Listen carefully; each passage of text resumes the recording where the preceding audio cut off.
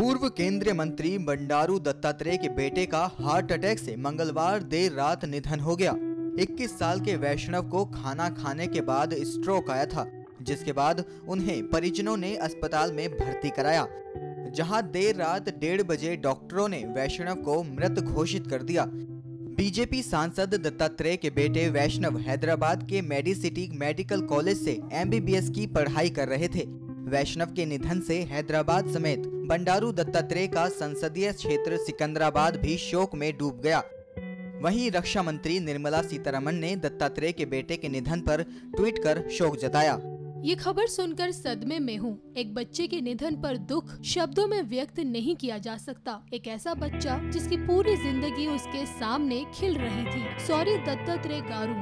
भगवान से प्रार्थना है कि आपको और आपके परिवार को इस अपूर्णीय क्षति को सहने की शक्ति मिले।